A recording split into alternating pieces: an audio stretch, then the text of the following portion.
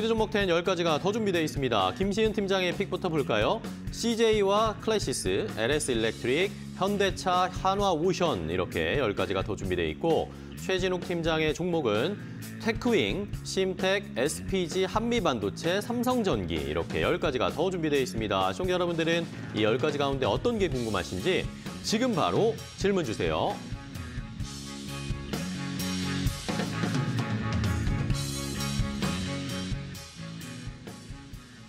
자, 두 분이 이렇게 좋은 종목 10가지 더 공개를 해주셨습니다. 시청자분들 잘 보셨죠? 이 리스트에 있는 종목 가운데 여러분들이 궁금한 점이 있으시면 질문을 주시면 됩니다. 저희가 예, 이 두 분이 골라오신 종목 중에 질문을 받고 있으니까 참고를 해주시고 뭐 매수가 목표가 알고 싶다 아니면 어떻게 끌고 가야 될지 전략을 알고 싶다 이런 것도 좋습니다. 유튜브 라이브 댓글창과 샵 3772번 문자로 궁금한 점 지금 바로 보내주시면 저희가 자세하게 그런 내용을 포함해서 설명드리도록 할 테니까요.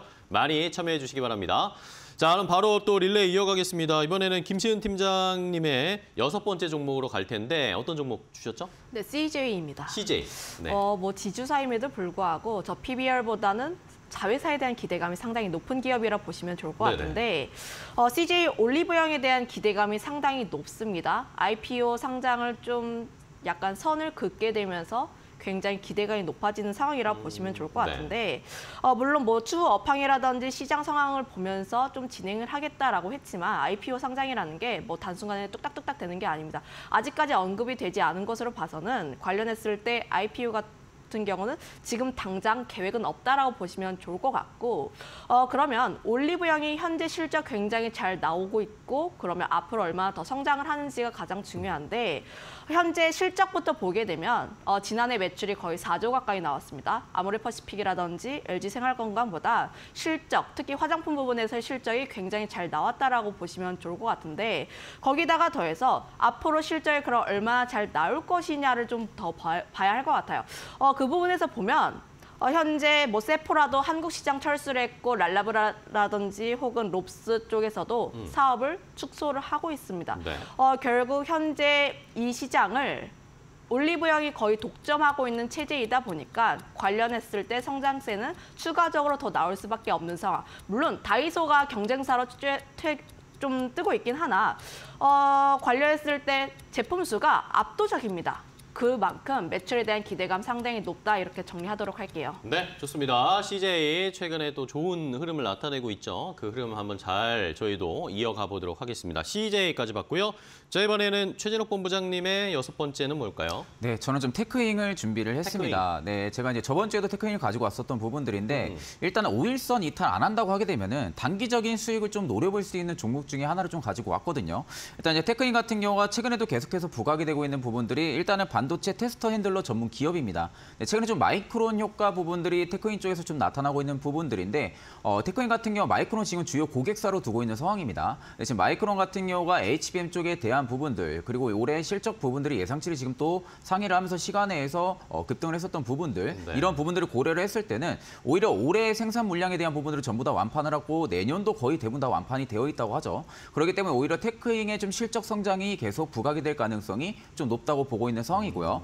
또한 지금 AI 성장세가 계속되면 계속될수록 고속 핸들러에 대한 수요도 당연히 좀 증가를 해줄 수밖에 없다고 보고 있는 상황입니다. 그래서 그간의 좀 다품종 소량 생산이라는 점에서는 매력도가 굉장히 좀 높지가 않았었는데 이제 이제는 AI 시장이 계속적으로 성장성이 나와주고 있는 상황이다 보니까 핸들러에 대한 수요는 꾸준하게 좀 증가해줄 가능성이 높다고 보고 있고요. 네. 어, 올해 글로벌 기업과의 테스트도 지금 거의 마무리 단계에 있는 상황입니다. 어, 테스트가 마무리되면 본격적으로 본격적인 좀 양상까지도 지금은 진행이 될 가능성까지도 지금은 높은 상황이다라는 관점으로 좀 말씀을 해드리고 일단 지금 기존 고객사들에 대한 매출 성장도 노려볼 수가 있겠지만 앞으로 좀 신규 고객사에 대한 매출 가시화까지도 좀 노려볼 수가 있습니다. 그럼 오히려 실적 성장과 외형 성장 두 마리 토끼를 충분히 잡을 수가 있는 구간이라는 점. 특히 지금은 5일선만 이탈 안 해준다고 하게 되면 은 충분히 단기 수익 땡. 나올 가능성이 있지 않을까 싶습니다. 알겠습니다. 테크윙 어, 최진욱 본부장님도 반도체 가져오기 시작하셨습니다. 좋습니다. 테크윙까지 봤고요.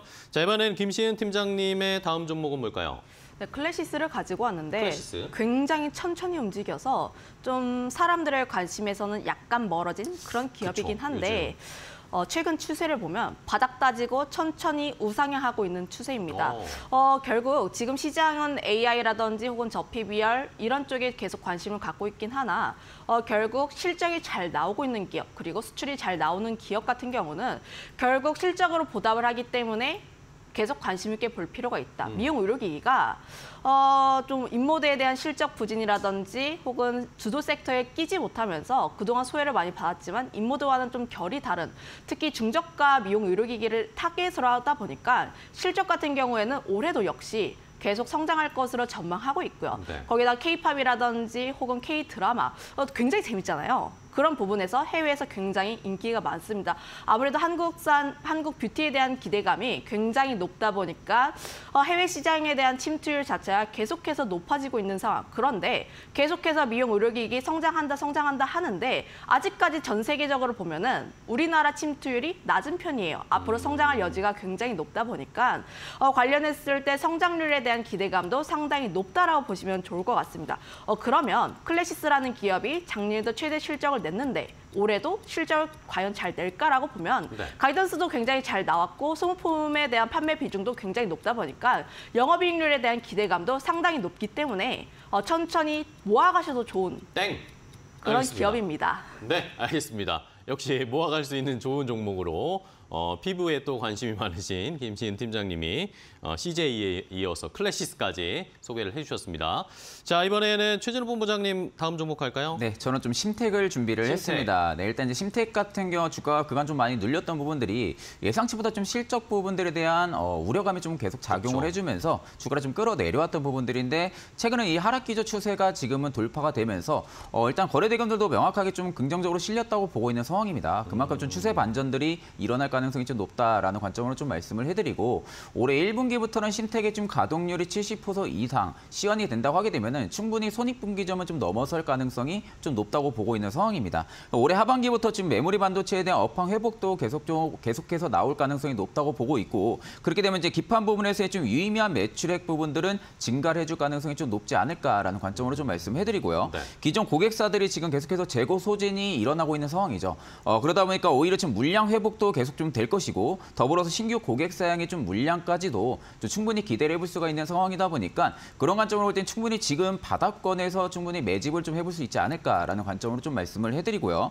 좀 이를 기반으로 올 하반기부터는 오히려 안정적인 실적 성장이 계속해서 나와줄 가능성이 좀 높다고 보고 있는 상황입니다. 그래서 단기적으로는 실적에 대한 신뢰소, 신뢰도는 다소 떨어져 있는 모습이긴 하지만 오히려 좀 상반기 중에는 이를 좀 입증을 하면서 충분히 회복을 해줄 가능성이 좀 높다라는 관점으로 좀 말씀을 해드리고요. 네. 또 회복을 한다고 하게 되면 업황 회복과 더불어서 오히려 실적과 주가도 충분히 우상향 기조를 계속 유지해줄 가능성이 좀 높다고 보고 있는 상황입니다. 그렇기 때문에 오히려 충분히 분할 매수 관점으로 지금 좀 보셔도 나쁘지 않을 거라 보고 있습니다. 네, 알겠습니다. 심택 최근에 좀 바닥 잡고 어제도 반등이 좀 나왔어요. 한번 지켜볼 만한 타이밍인 것 같습니다. 좋고요.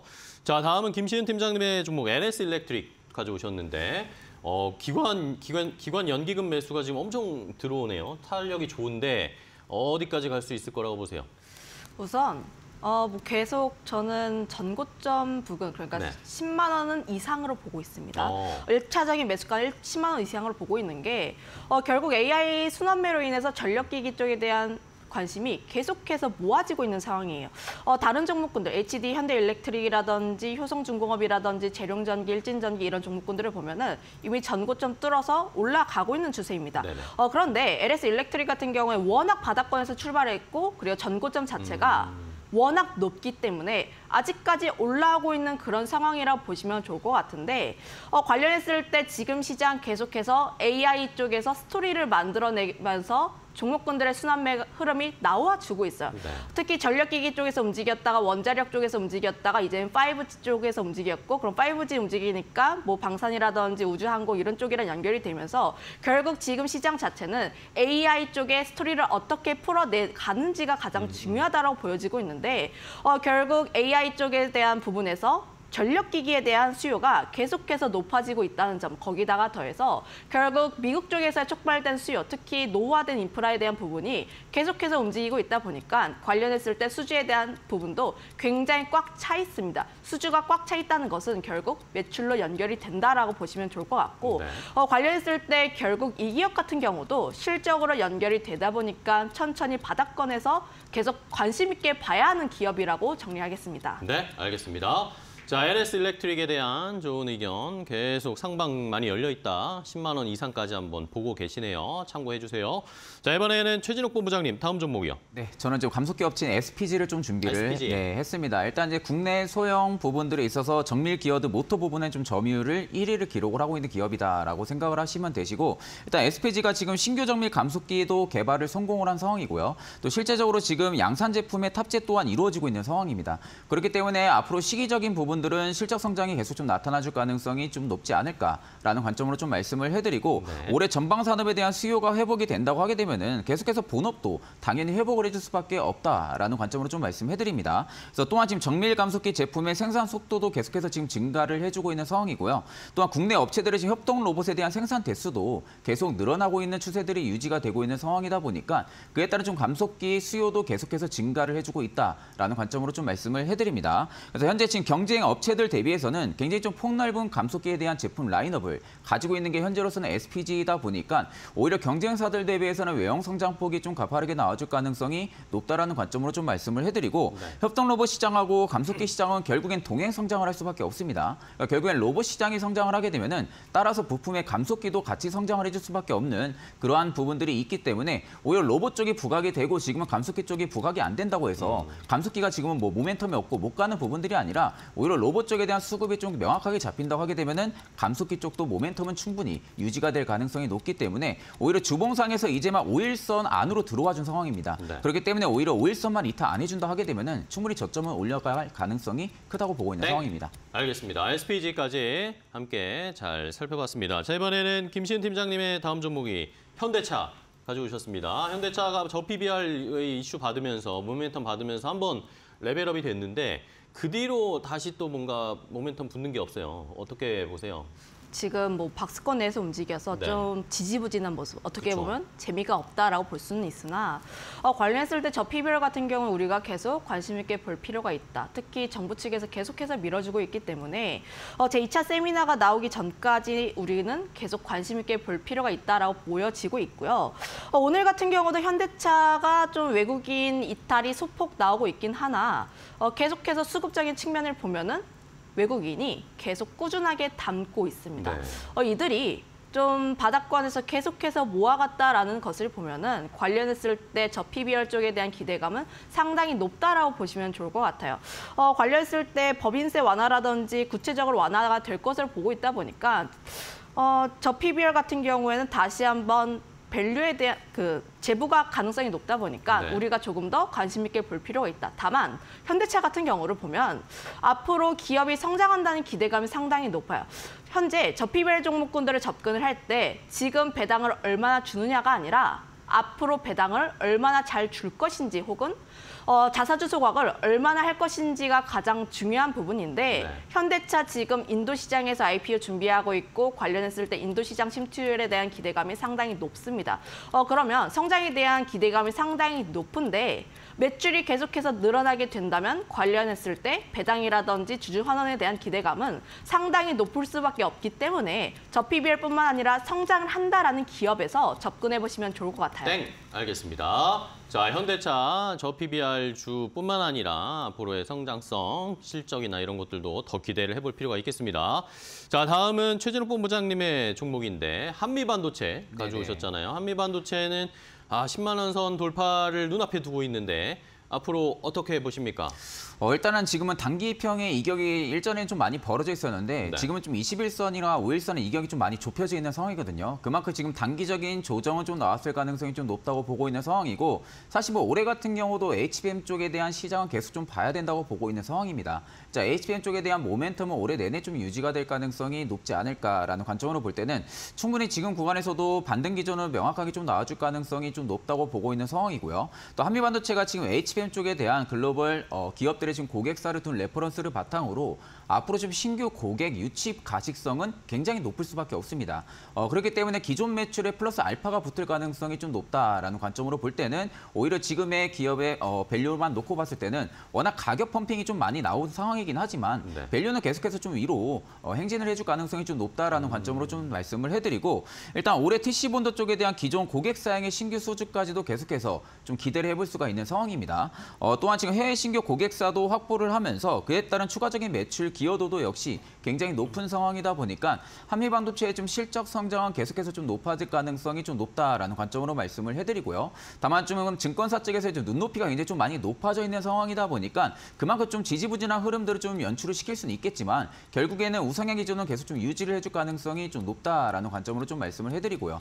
또 네. 올해 SK 하이닉스 향의 좀 장비 수주 부분들까지도 있는 상황이다 보니까 오히려 계속해서 외형 성장폭은 나와주지 않을까라고 보고 있습니다. 그렇기 때문에 오히려 21 선만 이탈 안 해준다면은 단기 상승률은 열려 있다고 네. 보고 있는 상황입니다. 알겠습니다. 자, 이평선 어, 지지하는지 여부를 잘 지켜보자라고 포인트 짚어주셨어요. 자, 이번에는 김시현 팀장님 마지막 종목입니다.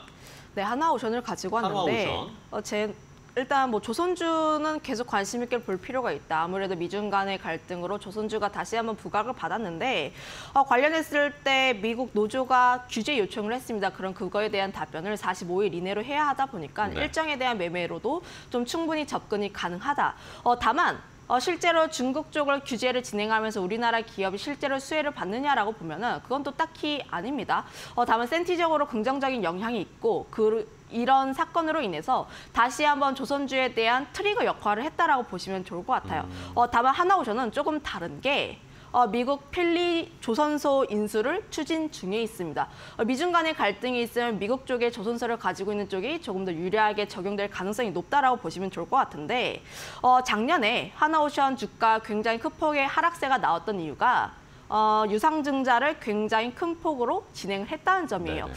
어, 그런데 아직까지 그 자금 진행한 부분이 없다 보니까 필리조선소 인수하는데 자금을 사용할 가능성이 굉장히 크다라고 보여지고 있고요. 어, 필리조선소의 장점이 어, 좀 상선이라든지 정부 쪽에 대한 선박 수주입니다.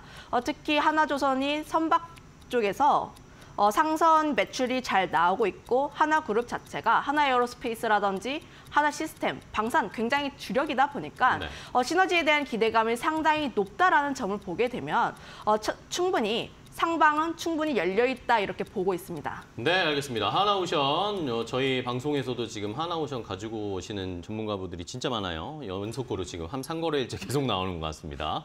자, 다음은 이제 최진욱 본부장님의 마지막 종목인데 삼성전기 네네. 주셨잖아요. 아, 삼성전기를 레몬트리님이 오랫동안 3년 가까이 가지고 계신데요. 삼성전기 매수가가 17만 5천 원, 높은 가격에 사서 계속 추가 매수를 하셨답니다. 아, 비중은 높지 않고 5% 정도. 근데 이거 기다려도 가능할까요? 라는 질문 주셨습니다. 어, 일단 삼성전기 저는 기다려도 가능하다고 말씀을 해드리고 싶어요. 일단 삼성전기는 지금부터는 조금씩 봐야 된다고 지금 보고 있는 상황이다 보니까 네. 계속해서 그 매수가 부분은 지금 뭐 이제 가격적인 부분들이 좀 워낙 높다고 생각은 할 수 있겠지만 앞으로 좀 모멘텀 부각 부분들과 실적 성장을 고려 했을 때는 삼성전기의 좀그 매수가 이상은 충분히 올라가 어. 나갈 가능성이 좀 네네. 높다고 보고 있는 상황이고요. 일단 올해 1분기 실적 같은 경우는 삼성전자의 좀 갤럭시 S24의 좀 판매 부분들과 그 초기 판매 효과로 인해서 오히려 좀 1분기 실적은 굉장히 좀 잘 나올 가능성이 좀 높다고 보고 있는 상황입니다. 어, 또한 올해 사- 어, 올해부터는 MLCC 쪽에 대한 가동률이 좀 회복이 되면서 오히려 좀 믹스 효과까지 같이 동반이 되다 보니까 수익성은 충분히 개선이 될 여지가 굉장히 크다고 보고 있는 상황입니다. 네. 워낙 좀 MLCC가 중국향 비중이 좀 높은 상황입니다. 어, 그런데 지금 MLCC 쪽에 중국향 비중이 높은데 화웨이 중심으로 이번에 좀 신제품이 출시를 앞두고 있는 상황이다 보니까 오히려 계속해서 수요 회복은 나와줄 가능성이 좀 높다라는 관점으로 좀 말씀을 해드리고요. 네. 또한 지금 on-device AI 쪽에 있어서도 지금 스마트폰, 뭐 노트북 그리고 이제 뭐 컴퓨터 이런 부분들에 있어서도 계속해서 좀 성장성이 나와준다 하게 되면 기판 수요도 당연히 좀 증가를 해줄 수밖에 없겠죠. 그럼 기판 수요가 증가를 해준다고 하게 되면은 긍정적인 효과는 삼성전기 측에도 계속 나와줄 가능성이 좀 높다고 보고 있는 상황입니다. 어, 그렇기 때문에 오히려 MLCC 패키지 기판 쪽에서의 성장성은 부각이 될 가능성이 좀 높다라는 관점이고 네. 월봉상에서 이제 막 좀 수렴이 되고 있습니다. 이평들이 수렴이 되고 있기 때문에 충분히 방향성을 위로 잡아줄 가능성이 좀 높다라는 관점으로 좀 말씀을 해드리겠습니다. 알겠습니다. 삼성전기까지 두 분의 종목 설명 10개, 10개 다 알려드렸어요. 자, 그럼 마지막으로 이제 탑픽 종목을 하나씩 골라주시면 되는데 오늘은 종목명만 딱 짚어주시면 되겠습니다. 자, 김시현 팀장님. 네, 하나오션입니다. 마지막에 알려주신 한화오션 주셨고요. 최진욱 본부장님은 네, 저도 삼성전기입니다. 삼성전기와 한화오션을 오늘 탑픽으로 두 분이 골라주셨으니까요. 오늘 시장에서 저희도 더 자세하게 한번 살펴보도록 하겠습니다. 자, 오늘 두 분과 함께 종목 소개해드렸습니다. 오늘 좋은 종목 알려주셔서 감사하고요. 다음 시간에 더 좋은 종목 가지고 찾아와 주세요. 오늘 고생 많으셨습니다. 고맙습니다.